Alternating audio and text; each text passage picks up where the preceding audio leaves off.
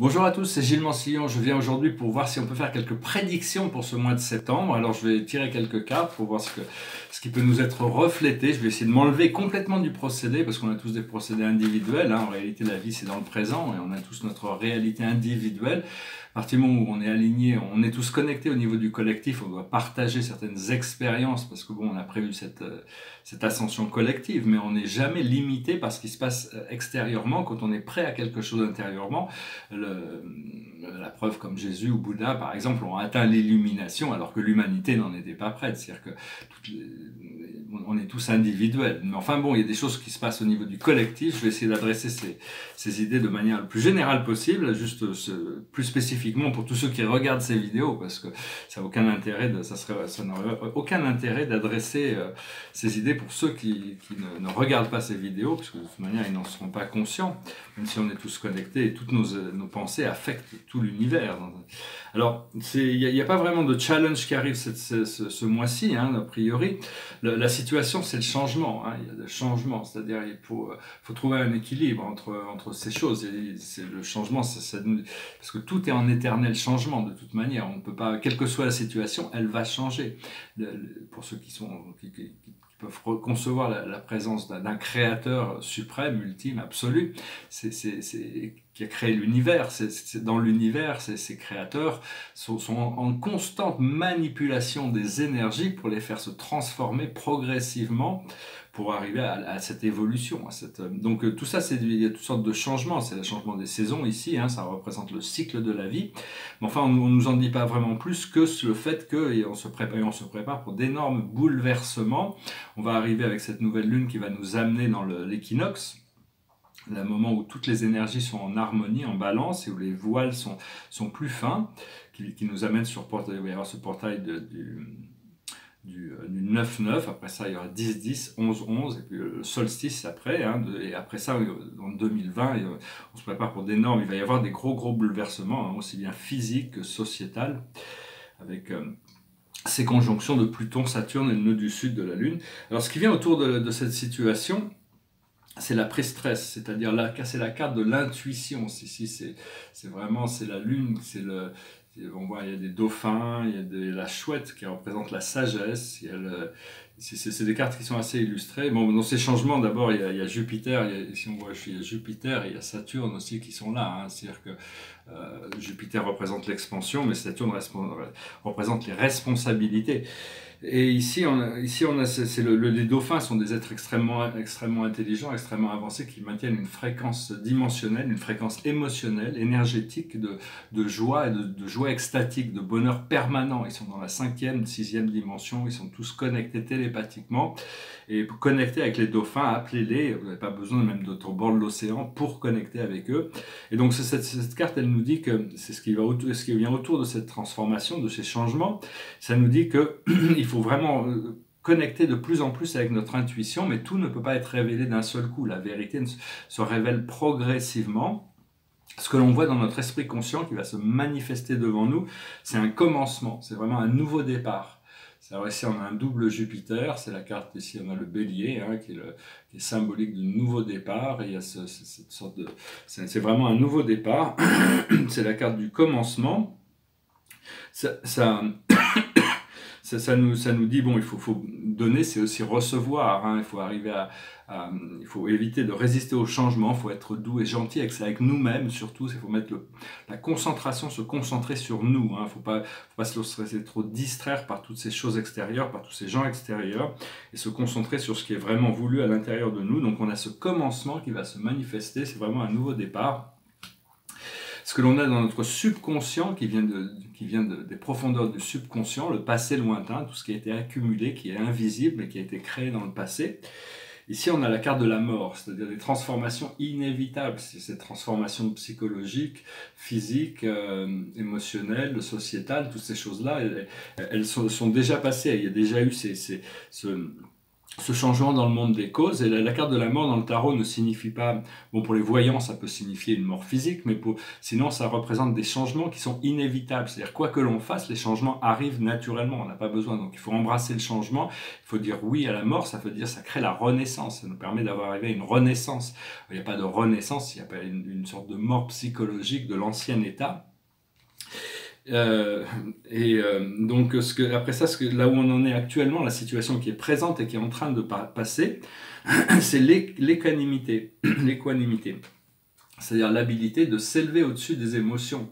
L'habilité d'être cette, clarté au-dessus, parce qu'au-dessous, il y a la confusion. Donc, on doit s'élever au-dessus de la confusion. On y arrive, c'est ce qu'on fait actuellement. On arrive à s'élever au-dessus de la confusion. Et ce qui arrive dans le futur immédiat, c'est la carte de l'art.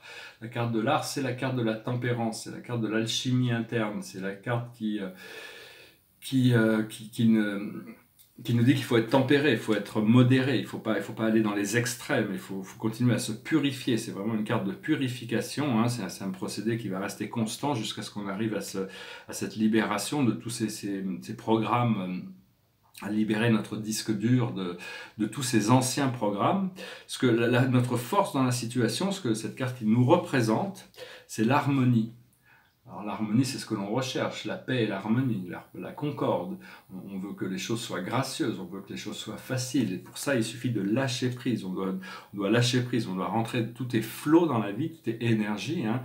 Des fois, notre énergie va contre le courant de notre création, des fois, elle va avec notre création. On veut essayer d'aller toujours dans le sens de la création pour arriver dans un état de grâce.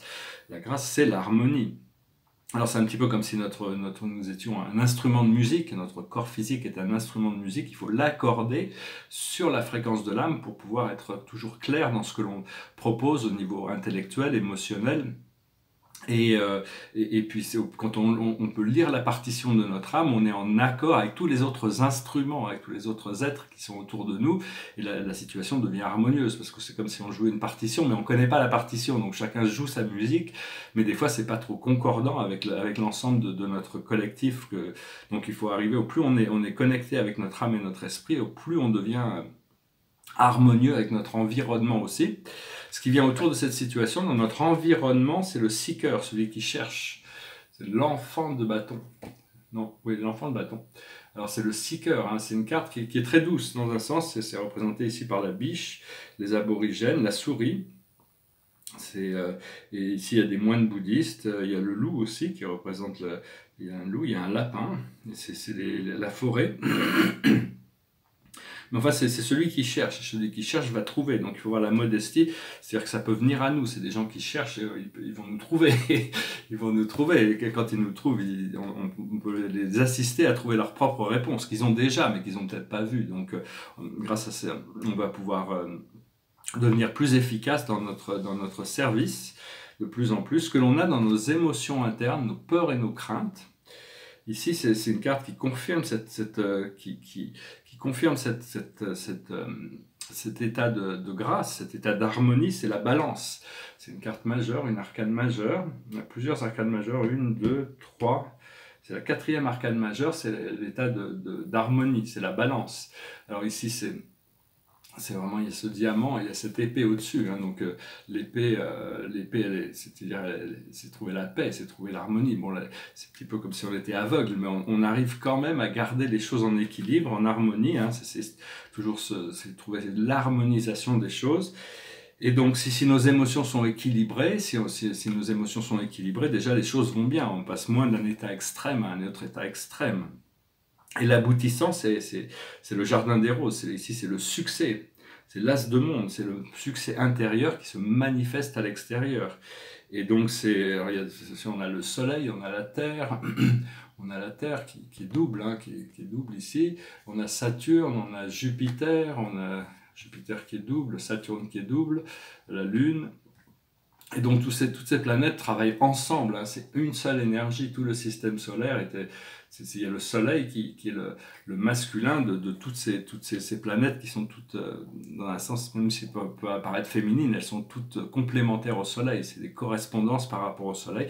Donc, a priori, c'est tout bon pour ce mois de septembre. Hein. Il y a toutes sortes de nouveaux niveaux de succès qui vont pouvoir se manifester, aussi bien intérieurement, trouver cette harmonie intérieure, que de qu'au niveau des manifestations physiques dans le monde, dans le monde extérieur. Savoir que bon, il y a toutes sortes de mystères qui vont commencer à se révéler hein, de plus en plus, donc il faut pas, pas être surpris, on sera peut-être surpris par certaines choses qui vont se révéler, mais il faut écouter notre intuition, il faut écouter ce que la vie nous enseigne, il faut écouter nos rêves, il faut continuer à faire ces méditations, à devenir réceptif pour pouvoir recevoir cette information et ne pas douter de nous-mêmes, de l'information, même si c'est complètement contradictoire avec ce qu'on a pu apprendre à l'école, ou ce que les gens peuvent expliquer, ou ce que l'on voit dans les médias. Euh, parce qu'il y a beaucoup de brutalité dans les médias. Hein. Moi, je, que je tourne la télé, que ce soit dans les shows de fiction, c'est une violence. Je parle même pas des, des, des, des, histoires de, de, ces, ces, séries euh, sur, sur les enquêtes criminelles, mais il y a toutes sortes de brutalités, toutes ces shows d'action et tout ça, et, bon, ça se représente, on peut l'entendre dans la rue, tous les adolescents, ils sont très très, enfin, on sent qu'il y a toute une une violence qui est perpétuée et qui est enregistrée par le, collectif. C'est une manière de garder le contrôle sur l'énergie, mais enfin bon, on va pas trop rentrer là-dedans. Donc il faut, il faut écouter, il faut vraiment rester plus concentré sur ce qui est positif et, lâcher prise sur toutes ces choses, sachant que bon, euh, on est en train de se désengager de cette matrice. Euh, parce que c'est une danse du féminin qui est en train de se passer, c'est une danse du féminin, le réceptif, le divin féminin qui danse avec le divin masculin. Et euh, et donc c'est cette sexualité, la sexualité elle a, été, elle a été dégradée, elle a été pervertie dans notre société, mais c'est un des plus beaux cadeaux que l'on a reçus, c'est quelque chose de sacré, c'est quelque chose de divin la sexualité, c'est les secrets de la longévité, c'est toutes sortes de secrets qui sont, euh, donc on va pouvoir se réconcilier avec tout ça, parce que bon ça a été beaucoup manipulé à travers le, à travers le, le temps, il faut... Euh, parce que bon, on voit le corps, on voit le corps physique, mais on voit pas l'âme. Donc, euh, c'est comme on voit, le, on voit le corps physique de la Terre, mais on voit pas sa conscience. Hein. Donc, ces choses vont commencer à se révéler de plus en plus. Savoir que la Terre, c'est une sorte, c'est un être vivant, c'est une conscience, c'est une personne qui, qui est une sorte de grand, un grand euh, euh, vaisseau spatial. C'est un vaisseau spatial et nous on vit, on vit sur sa surface, mais elle voyage dans le cosmos. Hein, on est déjà dans le cosmos, juste parce que bon, on a cette atmosphère qui nous donne cette illusion de réalité. Mais donc on, navigue dans le cosmos. Déjà, on n'a pas besoin, euh, euh, on n'a pas besoin, enfin je veux dire, il faut déjà essayer d'apprécier ce que l'on a avant d'avoir, euh, cela, dit, on doit pouvoir commencer à connecter avec tous ces, savoir que tout est un de toute manière, mais enfin on est en train de, on fait ce voyage avec la Terre, prendre conscience que la Terre est une personne, on est en train de renaître, hein, et la naissance est très très très très euh, douloureuse cette, cette, naissance, parce que bon, on doit abandonner la physicalité et la dualité pour entrer dans l'unité et la lumière, dans le point zéro. Et ce qu'on nous demande, c'est le respect. Le respect, le respect de nous-mêmes, le respect des autres, le respect de la nature, le respect, de, le respect des croyances, le respect de, c'est d'avoir beaucoup plus de respect par rapport à la planète surtout, hein, parce que la Terre nous donne tout, hein, tout ce que l'on a, c'est la Terre qui nous le donne, le, sol sur lequel on vit, l'air qui nous permet de respirer, s'il n'y avait pas d'oxygène on ne pourrait pas vivre, c'est toute la nourriture que l'on reçoit, c'est la Terre qui nous le donne, tout ça c'est des cadeaux. Hein. Et, c'est notre mère, et, notre, le soleil, c'est notre père. On vit dans ce champ d'énergie, on est fait de la matière de la terre et de la lumière du soleil, et on vit dans le champ d'amour que la terre crée pour permettre à tous ses enfants d'exister. La terre aime tous ses enfants, malgré le fait que, que, certains l'abusent constamment avec ces bombes atomiques qui ont été. C'est extrêmement douloureux, quoi. imaginez si, vous deviez vivre et que vous aviez des, cellules qui tout d'un coup se rebellent contre vous-même. C'est très, très, très euh, c'est bon, bon, Ce qu'on apprend, c'est à lâcher prise sur toutes les peurs pour développer l'amour et la foi. Euh, bientôt, il va y avoir une séparation des lignes temporelles. Hein. Il va y avoir certains vont, euh, vont vraiment rentrer. Cette séparation, elle, risque d'être. Euh, il y a certains qui vont qui vont aller dans une ligne temporelle extrêmement parce que bon, c'est ce qu'ils ont créé. Puis d'autres qui vont s'élever dans une, ligne temporelle qui, va amener à l'ascension, à la liberté, au bonheur, à ces situations de, société paradisiaque pour tous. Et euh, donc euh, voilà, et puis si euh, savoir que bon, les pensées sont les, pensées sont, sont, des, sont des choses réelles, sont des, qui voyagent à la vitesse de la lumière, ou au-delà même. Savoir que les pensées négatives sont extrêmement localisées et se reflètent sur nous, les pensées positives voyagent dans tout l'univers, et donc des fois elles prennent plus de temps pour nous, pour se manier. Quand on a une pensée négative, elle nous revient beaucoup plus vite dessus, comme un boomerang. Toutes les choses sont un peu comme des boomerangs. Mais quand on a une pensée positive, elle fait le tour de l'univers avant de revenir, donc ça lui prend un peu plus de temps, parce que l'univers c'est grand, mais elle affecte beaucoup plus. Les pensées positives sont beaucoup plus puissantes que les pensées négatives. Euh, savoir que bon, la transformation est toute, toute prête. Hein. Bon, ce qu'il va y avoir, c'est que ça risque de bousculer beaucoup de choses parce qu'on doit expurger toute l'impureté, toutes les choses sombres. Mais savoir que c'est le soleil et la terre qui vont ramener toutes ces choses. Donc, euh, savoir que si on a un cœur pur, on sera protégé, on ne sera pas, on, sera pas euh, endommagé par, par ces transformations du soleil et de la terre, qui sont des êtres bienveillants. Mais par contre, ceux qui, sont malveillants vont devoir apprendre leur leçon, devoir, devoir faire face à leur création vis-à-vis de ces êtres cosmiques qui, qui, nous donnent la vie en permanence quand même.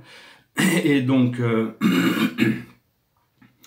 Et donc, euh, aussi, je voulais dire, quand vous regardez le soleil, pensez à tourner vos mains vers le soleil, vos doigts, et vous pourrez sentir, ça active les cristaux éthériques qu'on a dans les, dans les mains. Hein.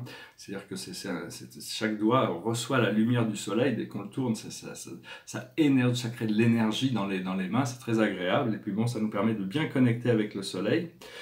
Je voulais aussi dire, toutes les jeunes générations, les jeunes c'est, ils arrivent avec plus de conscience, et, c'est-à-dire que bon, il y a toute cette jeunesse qui arrive, et ils arrivent, bon, je parle pas de, quand on est adolescent, on est un peu rebelle, on fait un peu n'importe quoi, comme tout le monde, mais je veux dire, toutes ces, ils arrivent quand même avec beaucoup plus de conscience, tous ces enfants qui sont nés surtout après 2012. Et donc, et par contre, ils, ont du mal à comprendre comment on a pu créer un bordel pareil, hein, comment on a pu créer une situation de vie aussi, aussi désagréable. Donc, ils, ont du mal à comprendre tout ça, parce que, mais une génération peut réparer toutes les erreurs de toutes les générations passées. Donc, c'est ce qui va se passer, ce que j'ai écrit dans mon livre. Il suffit d'une génération consciente pour, pour mettre terme à toutes les, tous les problèmes du monde. Donc, il faut faire confiance aux enfants. Ils arrivent avec des solutions. Ils sont venus pour, euh, pour faire cette transition. Euh, aussi, bon, c'est évident que les choses matérielles n'ont plus la même valeur que ce qu'elles avaient avant. Pendant très longtemps, le seul but de, l'existence humaine était d'accumuler des choses matérielles avec cette idée, celui qui a accumulé le plus a gagné. Mais c'est pas du tout ça. Il n'y a que les progrès d'âme que l'on emmène avec nous. Ça ne veut pas dire qu'on peut pas profiter pleinement de toutes ces choses matérielles, mais sans l'attachement. Euh, ou être prêt à tout pour l'obtenir.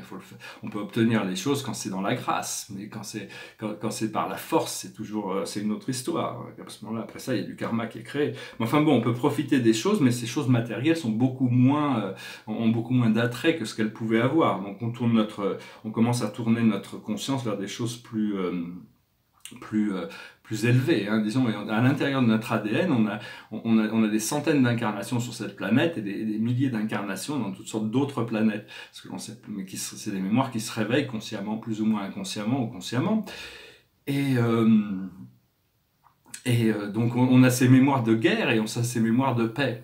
Donc il faut vraiment choisir la paix, il faut choisir ces mémoires de paix pour installer la paix en nous, parce que sinon il y aura toujours cette bataille qui va revenir, parce qu'on a aussi ces, ces mémoires de guerre. Euh, parce qu'on peut, on peut très bien être mesquin et méchant ou gentil et généreux. Donc il faut développer cette gentillesse. Euh, et, rendre ça le, standard. Hein.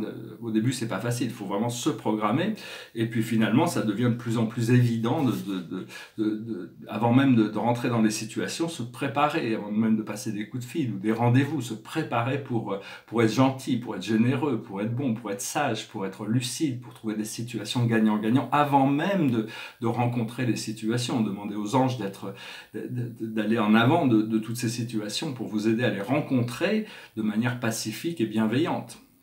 Voilà, j'espère que ce message aura été intéressant pour vous, passera un excellent mois de septembre. Derrière moi, c'est un portrait.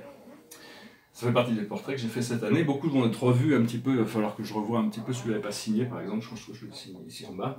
Euh, puis certains vont être travaillés. Derrière, il y avait écrit Connais-toi toi-même, rien de trop. Puis c'est devenu un portrait d'une sorte de, prêtresse égyptienne. Hein. Euh, le symbole de Vénus ici. Et puis euh, le symbole de la Trinité, et elle a l'œil d'Horus. Ici, c'est ouais, seins nus, enfin, mais elle est assez, sexy, je trouve, c'est pas mal. Et puis, euh, je vais bientôt me lancer dans des... Parce que les, papiers vont très vite quand je peins. Les papiers, je peux le faire en 2-3 jours. Il y a certains papiers qui sont finis, alors que les toiles, je voyais celle-là derrière, il y a marqué... Je l'ai commencé en 2008, je l'ai fini en 2019.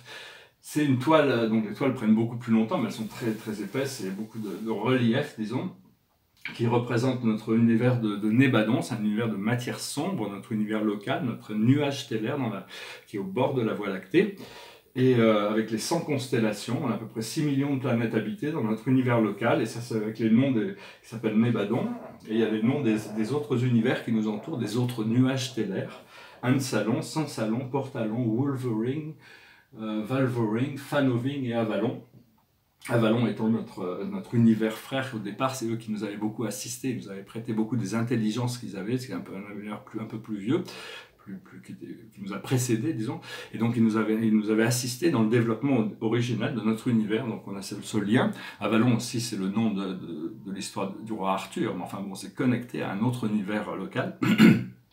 Alors je finis avec une chanson, puis je vais tirer quelques, cartes après avec les, les, les cartes des Akash.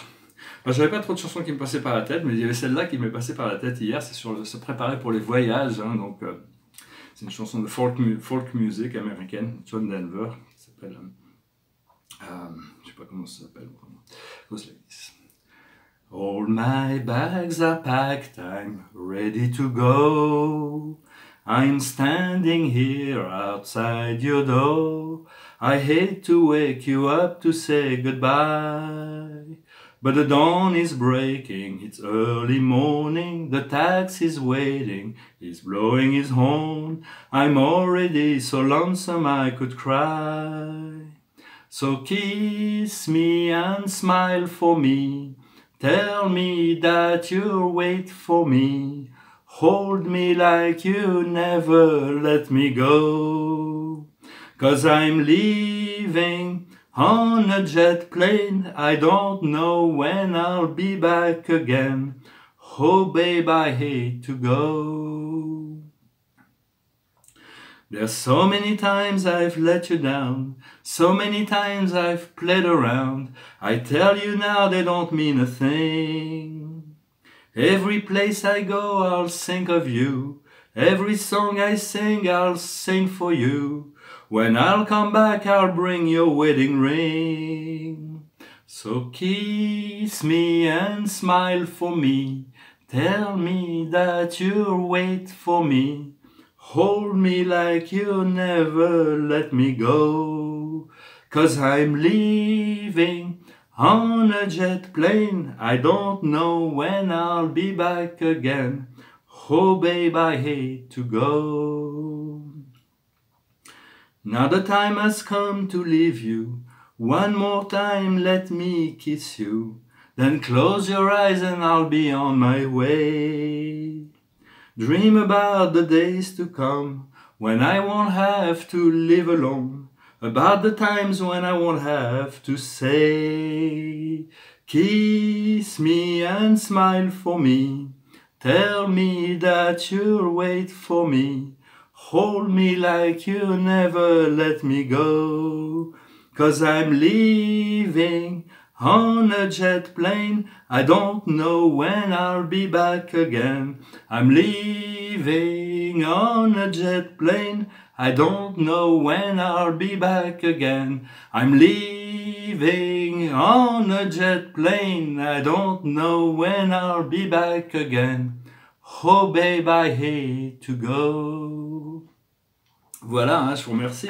Restez jusqu'à la fin. C'est quelqu'un qui doit partir, il doit laisser sa bien-aimée derrière. Enfin bon, c'est pour des raisons de force majeure, hein, c'est pour lui.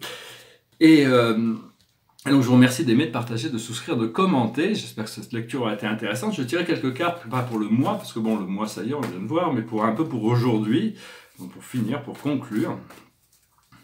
Ce que la cache pourrait nous révéler tous les jours, il y a de nouvelles révélations. Hein. Alors, la plus haute sagesse, c'est Atlantis, Atlantide. C'est cette mémoire, cette mémoire d'Atlantide, cette mémoire de société paradisiaque. On était dans la quatrième dimension à l'époque. On était, pour ceux qui étaient dans, dans cette société d'Atlara, on était dans la treizième dimension. On maintenait cette présence en dehors du temps et de l'espace, dans l'alignement de toutes les choses, qui nous permettait à la fois de rester dans cet alignement vertical et de pouvoir se projeter dans le dans l'alignement horizontal du temps et de l'espace de manière euh, intelligente, sage et précise.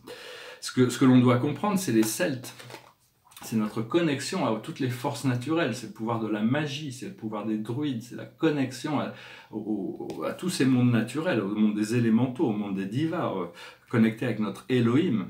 Ce que l'on doit faire, c'est la vie amoureuse. On doit être plus proactif au niveau de notre, euh, de, notre, nos relations romantiques. Moi, ça fait longtemps que j'attendais quelqu'un, puis je pense que cette personne a, fait d'autres choix. Donc bon, il faut, que j'arrive à me réaligner pour repartir dans, autre chose, même si bon, ça m'a servi hein, de toute manière. Donc il faut, faut, être, faut, être ouvert à l'amour, être ouvert à la romance, être ouvert au potentiel. Et l'aboutissant, c'est la spiritualité et la religion. C'est-à-dire que plus on arrive à se tenir sur ce qui est important pour nous, ce qui nous fait du bien à l'intérieur de nous, au plus on est en alignement avec notre voie spirituelle et au plus on peut servir l'univers de manière intégrale, de manière intégrée. Et donc c'est des choses qui vont se révéler de plus en plus. Hein, de, et donc suivez, suivez vos, vos principes, suivez vos, évoluez vos croyances tous les jours, gardez l'esprit ouvert. Voilà, je vous remercie, je vous souhaite une excellente journée, je vous dis à très bientôt, namasté.